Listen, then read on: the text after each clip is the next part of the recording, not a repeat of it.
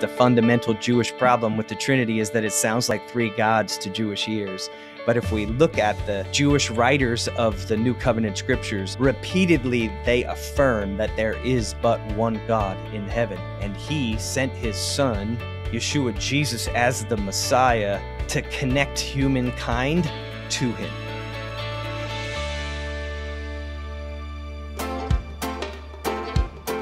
Welcome to another episode of A Jew and a Gentile Discuss. I'm your co host, Ezra Benjamin. And I'm Carly Berna. And we are, respectively, a Jew and a Gentile who both believe in Jesus and believe there's value in looking at history as well as today's world and the headlines you see in the news through both a Jewish and a Christian lens. Now, today we're going to talk about something that maybe at first blush sounds very simple to you, but I promise you, as we'll unpack in the next couple dozen minutes, it's not as simple as you thought. And that is the complex topic of the Trinity. And today we're joined by uh, our co vice president here at Jewish Voice Ministries, where the three of us serve together, Rabbi Troy Wallace. Troy, thanks for joining us today. So glad to be here with you. Troy, we've invited you on to help us untangle this mess as this Jew and this Gentile discuss. I won't waste any more time in uh, niceties. Let's jump right in because we're going to need all the time we can get. The Trinity. First of all, Carly, let's give us the answer maybe most of our Christian audience is thinking. What do we mean? What's meant in the Christian world when we say the Trinity? How do you define that at kind of a very basic level? Yeah, so you know, you said sometimes the Trinity can can be simple, but really I think it can be very complex and mysterious. And something that when I first became a Christian, not something I understood. You know, how can there be three in one? That's like for someone who's very logical, that's not good math. So if I'm trying to simplify it, the Trinity is Father, Son, Holy Spirit. That's how most Christians would define it, but three unique persons in that. It's it's not one person with three different modes, but three unique persons: Father, Son, Holy Spirit.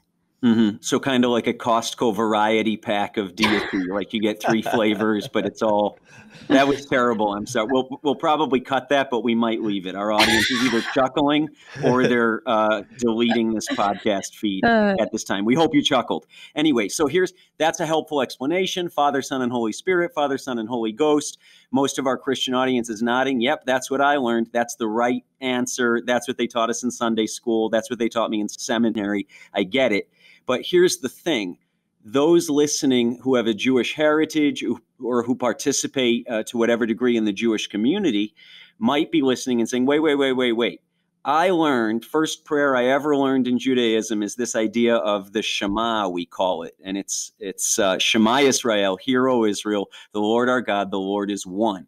And so right away, we're going, wait a minute, Carly the Christian just said three in one, but I always learned one, and one means one. It's not a variety pack, it's a single item. So therein lies an immediate problem, it would seem. So, Troy, what is, other than this Jewish prayer, the Shema, what's the fundamental, we can say, Jewish problem with the concept of Trinity? And, and why is that a problem in Judaism? Well, I think that you hit you hit it right, Ezra, with uh, kind of a a simple understanding of the Shema. This idea of echad or, or one really often lends itself to this idea of a compound unity. But uh, many, many of the Middle Age rabbis used that idea in the Shema to, to make a distinction between a Jewish concept of, of God and a Christian concept of, of God or of deity or of a shared divine experience between the Father, Son, and the Holy Spirit. And, and I think it's pretty clear from the text, even the Old Old Testament or the Hebrew Scriptures text that there that God, the God of Israel, appears in different ways. In Genesis one, He's a wind or a, a spirit or a breath over the waters. In Exodus three, He's appears as Malach Adonai or the angel of the Lord and and has a conversation with Moses. Genesis eighteen, a conversation with Abraham. So really, in some ways, the fundamental Jewish problem with the Trinity is a is a byproduct of of the way that it's developed historically as a distinction or as a marker between two different religions or or ways of approaching God. And and I think that, you know, the the doctrine, the Christian doctrine of Trinity, is kind of a parable or an idea of how to fit together these different appearances or expressions of God that we see in the text from Genesis to Revelation. Uh, so, if we're to have a conversation with a Jewish people, uh, with a Jewish person, or the Jewish people generally, if we don't confirm like the apostolic writers do in the New Covenant scriptures, in the New Testament scriptures repeatedly, that we believe in one God. That is, that there is one God alone. Uh, Paul says God the Father. Peter says God the Father. They use that language. Um, and then the Messiah, Jesus, his son, the Lord, the Messiah. There's some distinction there, and yet the apostolic writers over and over declare a fidelity to the Shema in terms of faith values. Uh, so, uh, again, Ezra, to get back to kind of the simple answer to your question, the, the Jewish problem generally with the idea of the Trinity is that somehow there are three gods in the midst of it. But I think uh, even uh, the most classical Christian theologians would say, no, no, no, no. Christianity believes in one God. It's just a question of these three persons or these three different ways that God expresses himself or the divinity expresses himself. Very different persons. I'm going to lean into the Christian way of saying it. And yet there's only one person in the terms of human uh, among them all, and that is Jesus the Son. Uh, so it, it's a complex issue, and, and I really appreciate Carly that you started this uh, by saying, "Hey, it's hard to make the Trinity simple." Yet we start, many in the Christian world start teaching their children the Trinity when they're four, five, six years old. So we try to make it as simple as possible. Uh, but it's really complex. And many theologians have written meditations on the idea of the Trinity that fill volumes of books again, I think the simple answer to your question, Ezra, is the fundamental Jewish problem with the Trinity is that it sounds like three gods to Jewish ears. But if we look at the the Jewish writers of the New Covenant scriptures, of the apostolic writings, repeatedly they affirm that there is but one God in heaven. And he sent his son, Yeshua Jesus, as the Messiah uh, to connect humankind to him. Troy, you mentioned Genesis 1, um, and I want to just talk about that for a minute. You said that's uh, that's where it says the Spirit of God hovered over the waters. How would a Jewish person um, explain that, or how would they look at that? Like you said, you know, they see God the Father, God the Father throughout the scriptures, but when they see Spirit of God, there, how does that work within their paradigm? Well, just let me clarify you said they see God the Father, God the Father. I'm not sure that they see God the Father, God the Father. I think they see the God of Israel, the God of Israel, or Yud Hey Vav Hey. Uh, God the Father is in some ways a Christian concept, although the God of Israel describes himself as a father from time to time.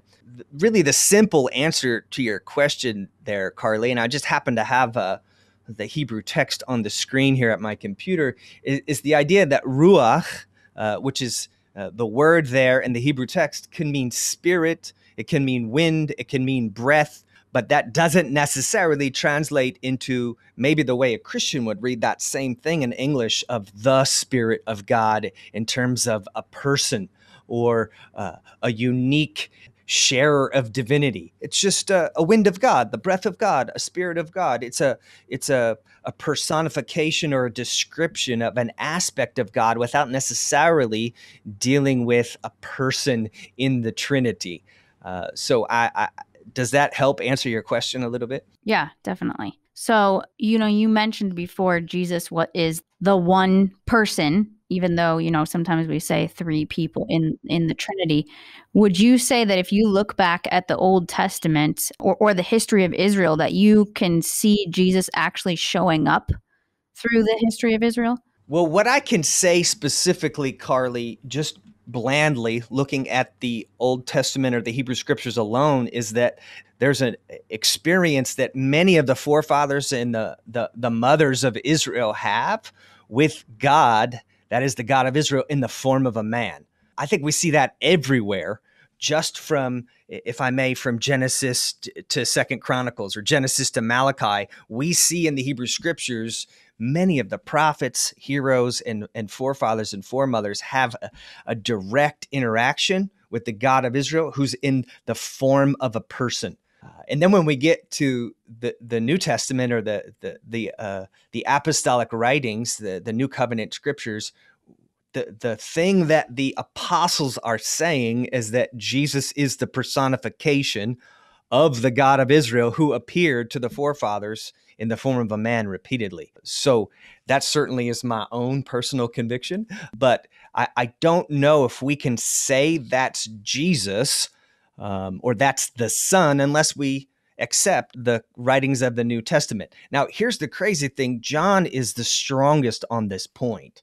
Uh, John begins his gospel in, in in kind of a mystical or mysterious way where he's saying using the phrases in the beginning was the word and the word was God and was with God and through the word all things that were made were made and then he goes on to say that that word is the man Jesus of Nazareth and and he came and tabernacled. He dwelt among us. I believe that's John 1 verse 14 and then in verse 18 maybe it's verse 19, but he says this. He says, No man has seen God at any time, but the Son who's in the bosom of the Father has made him known to us.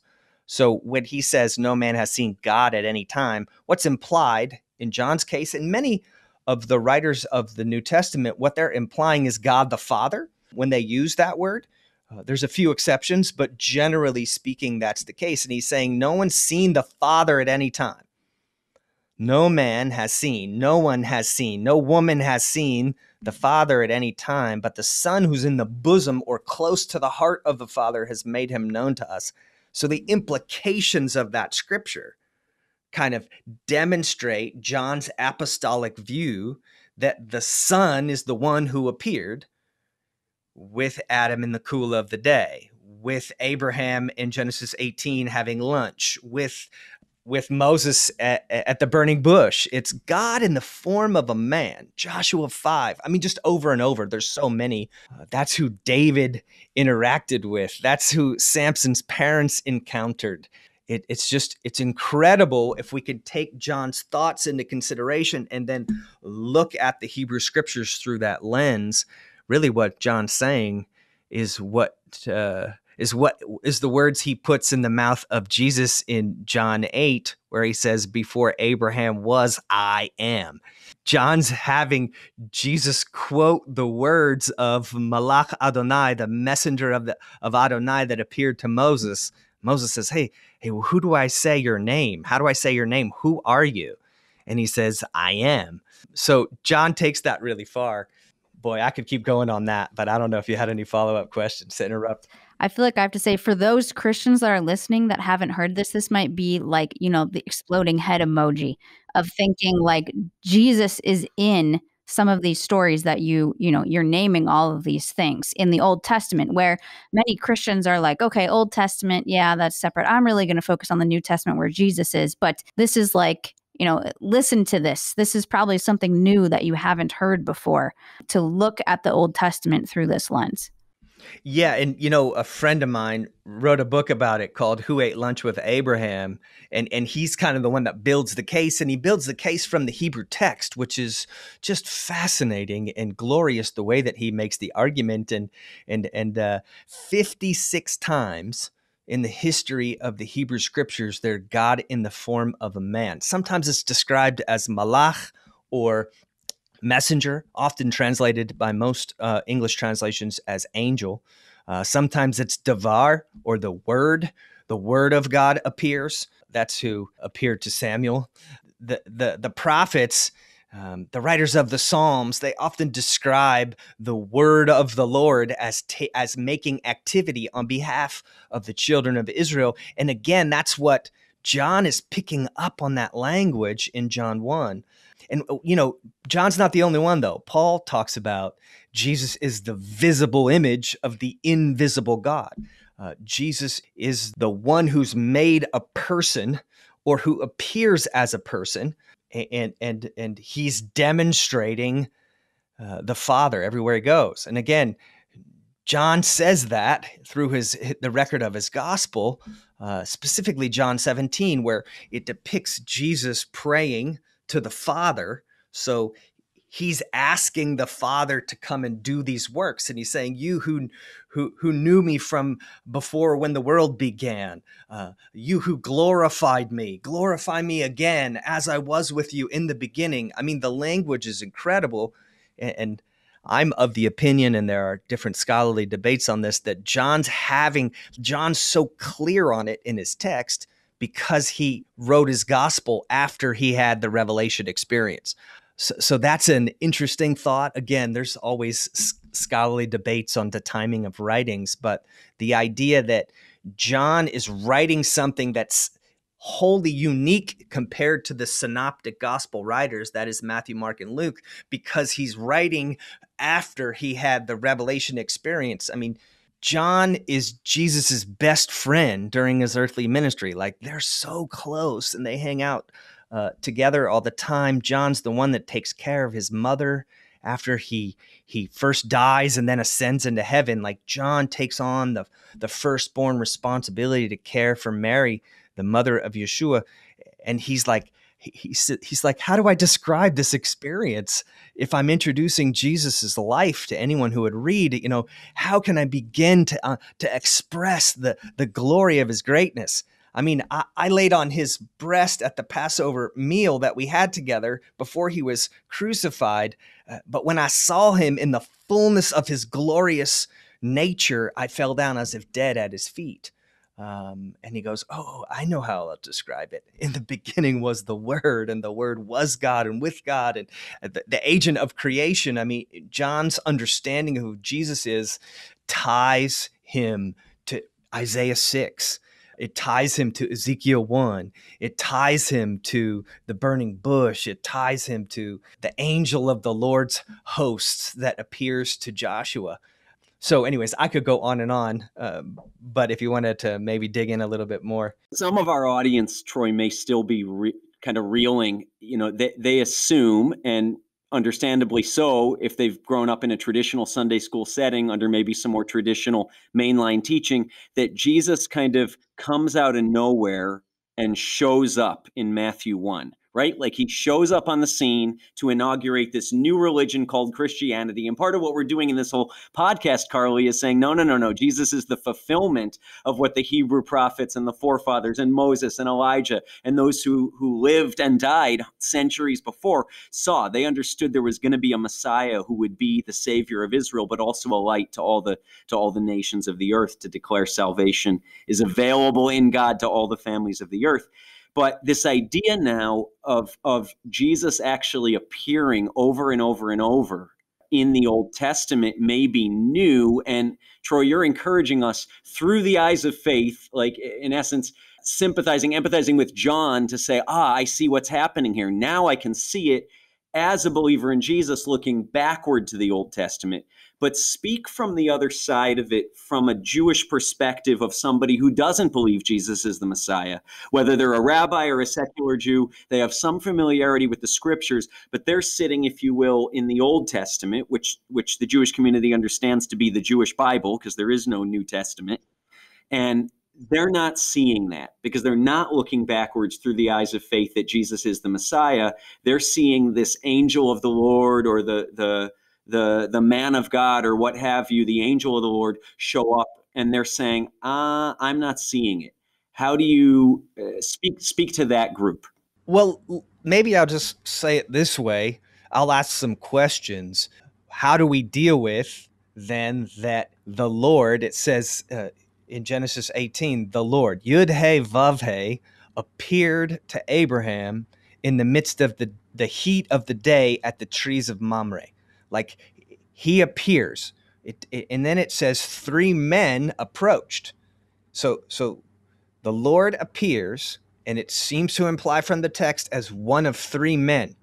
They have lunch together, and then the three men stand up to leave, and one of them, who the text describes again as Yud He Vav He, stays behind and has a conversation with Abraham about what he intends to do to Sodom and Gomorrah. And then they have this dialogue where Abraham intercedes. I love to think about who Abraham is interceding for there. Of course, partly he's interceding for his nephew Lot, but he's also interceding for pagan homosexuals who live in the city of Sodom and Gomorrah. Like, it's incredible who Abraham is willing to contend with God for in terms of seeing them saved from destruction. There's a lot of social commentary there that's implicit. Um, uh, but but then the text says, and the two angels continued down to the city. So Abraham sees this, the Lord. He recognizes him and bows down to worship him. And then it says he was a man and ate lunch with him. Eh, you know, I mean, I think that the historic reading of that in in in the rabbinic among the rabbinic sages is that they're willing to say that this is some expression of the God of Israel that literally appears to Abraham. But some of the commentators don't want to deal with that so they say that it was the glory of the lord or they describe it as the word word of the lord they actually are adding language to the text because what the text says is uh, Vayera uh, Yud He Vav Vayera Adonai. The Lord appeared right there to Abraham. So, so maybe that's just uh, the way to have that conversation, Ezra. Um, and I've found those conversations even with my family members who don't believe in Yeshua. Like they're it's a fascinating conversation because it makes the case for what the apostolic writers are assigning as the quality uh, to to Jesus. You know, I mean, John again in, in John eight uses the this idea to say that that uh, Jesus says, you know, Abraham saw my day; he saw me and rejoiced. and the the the leaders in Israel are going, wait a second. Uh, you're not even 50 years old how, how do you know Abraham? And, and, and Yeshua's response is, Before Abraham was, I am. Again, he's quoting what uh, the messenger of the Lord says to Moses. And, and that's something that they pick up stones uh, to stone him about because he's declaring himself the God of Israel. Uh, it's very, it's it's just so filled with uh, with tension uh, because of there's one Lord and and or there's one God and it's God alone. And we've talked about that on other episodes, Carly. This idea of Jesus being a sage, or Jesus was a good rabbi, and he was a good teacher, maybe a little misinformed. And it's this very politically correct idea. But this, the passage you just quoted, Troy, it, it can't be that way. Jesus either is everything that he says he is, or he deserved to be stoned and that was you know we i think we uh, this is especially for our christian audience we vilify the jewish community as we understand them through the gospels at face value right? In essence everything the jews say is to kind of discount jesus and everything jesus says is good and his followers are great and it's this good guy bad guy thing. But the context there is apart from the eyes of faith apart from those blinders being removed to the reality of who he is he deserved the stoning, except that he didn't because he proved in his resurrection that he is everything he says he was. And that's part of that dialogue with the Jewish community is look again. Don't just leave it at face value. And that's part of what we're doing here on this podcast, Carly, is saying don't let the conversations end three sentences in because everybody's looking through predetermined filters from a Jewish perspective or a Christian perspective and saying we don't have anything in common. We don't need to continue here. Look again remove the filters. For the jewish person remove the filters that god never actually shows up in a visible talking manifest presence in the old testament. And for the christians remove the idea that there was only the father in heaven until jesus the son and the holy spirit show up in the new testament because there's a lot more going on. And if we search the scriptures we'll see it. Well, you know, in Ezra, something our our audience may never have thought of is the idea that in the Torah, the people of Israel are commanded that if any anytime anyone shows up and performs a miracle that actually comes to pass and is saying that we should worship someone other than the God of Israel, there's an obligation for the people to keep the commandment to stone that person. or, or to kill them, to eradicate them from among the people. And, and if I mean, I just I think about how hard it would be for us. Like like I used to lead a congregation or be part of a leadership team in a congregation outside of Washington D.C. And I I love to think of the example of if someone came in to our congregation and said that he was God in the form of a man. How would our leadership respond? I mean, our leadership respond by saying, "Hey, uh, excuse me, can you please leave?" And if it came to fisticuffs, we might even be willing to have fisticuffs about that. Uh, so, so we have to put the experience of the leaders of Israel.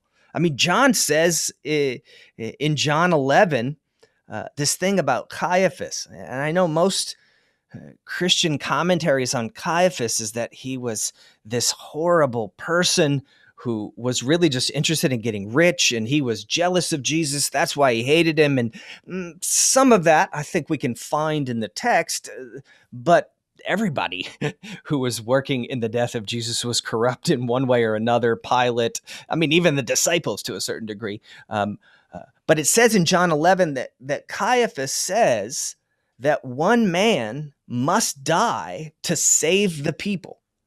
And, and John's commentary on that is that Caiaphas is not speaking on his own. He's speaking under the anointing of the Holy Spirit to prophesy because he was the high priest that year. I just challenge our listeners to go read that. I think it's John 11, 42, approximately, verse 42, where that's addressed. And in some ways, John says that Jesus is the lamb slain from before the foundation of the world. Like it wasn't a mistake that Jesus was crucified. It was the divine plan to redeem humanity.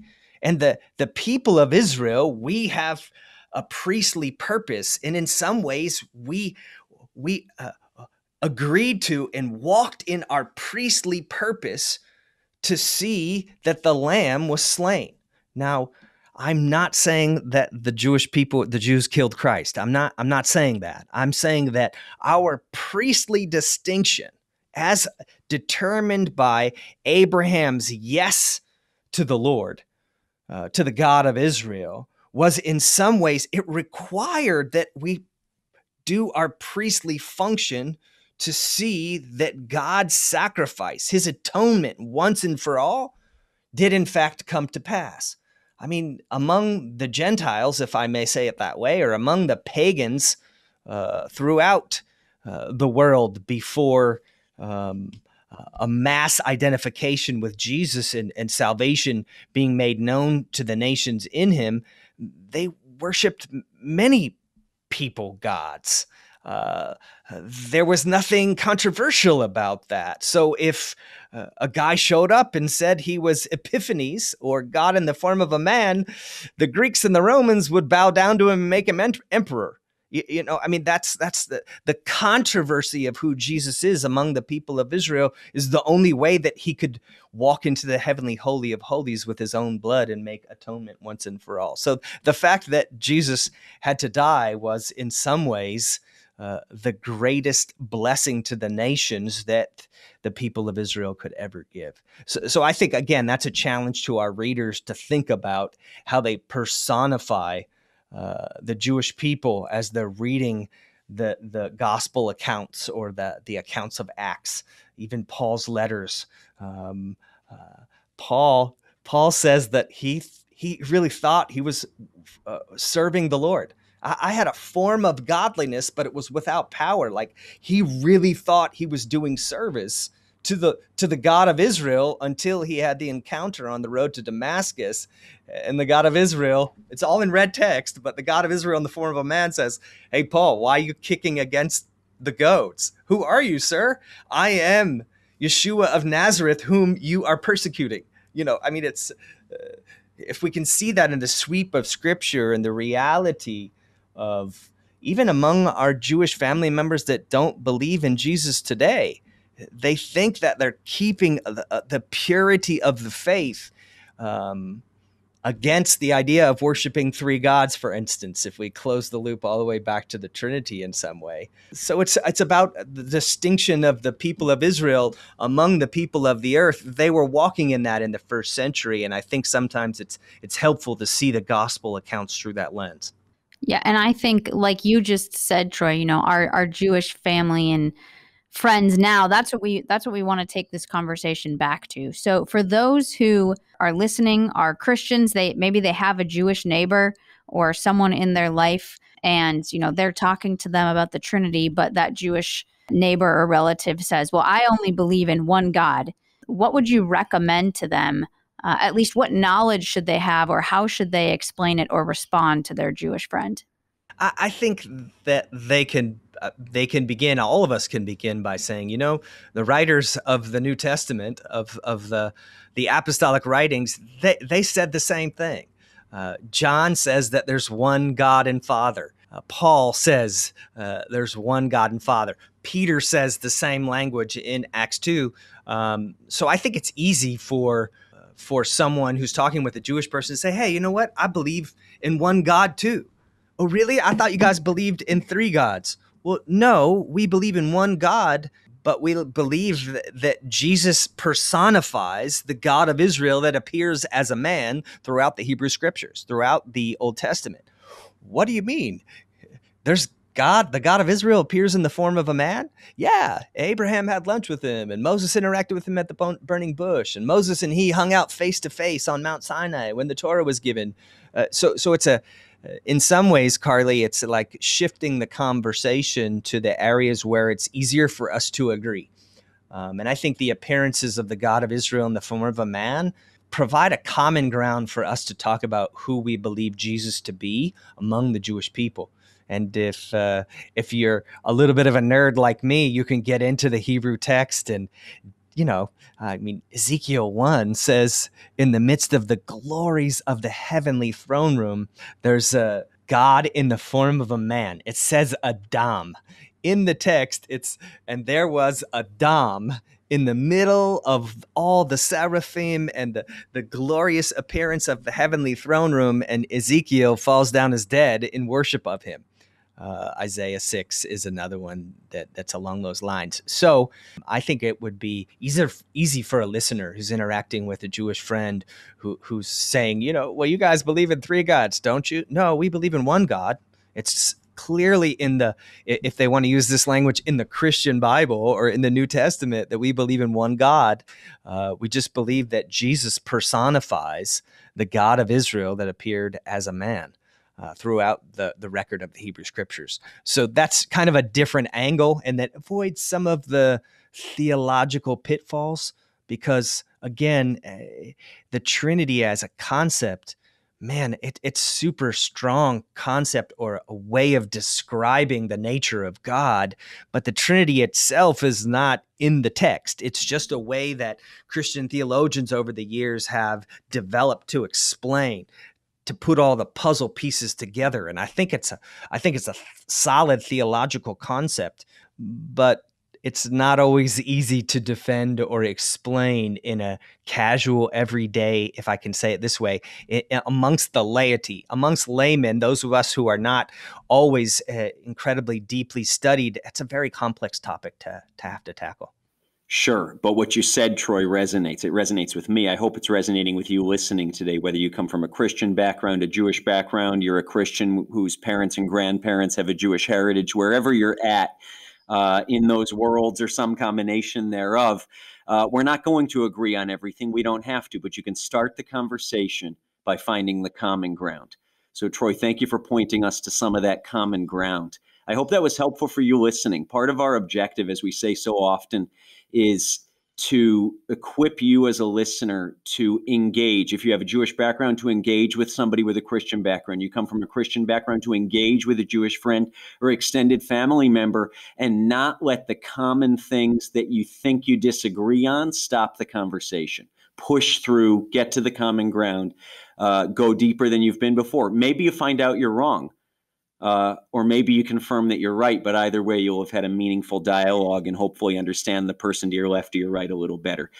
Well, we hope you found this interesting. I certainly did. And if you like what you're hearing and you'd like to keep that content coming out, we have a way for you to do that. Not only that, but also to stand in solidarity with some very isolated and in some cases persecuted Jewish communities uh, that we, through Jewish Voice Ministries and other like minded partners, have the privilege of serving in the name of Jesus around the world. The way to do that is to text us, text JG at 474747. Just for doing that, you'll be entered in a monthly coffee giveaway for some delicious, delicious Ethiopian coffee. I just finished my pot and I'm about to make another one of that Ethiopian coffee uh, right as soon as we're done recording this episode.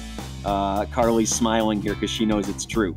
And another way to get involved to find the same information and get more of the details on getting some of that coffee and, and engaging with us here at A Jew and a Gentile Discuss is to go to our website, a Jew and a Gentile discuss.org. All the details about partnering financially and about getting some Ethiopian coffee from our uh, very own Lost Tribes Coffee Company are right there on the website. Again, a Jew and a Gentile discuss.org.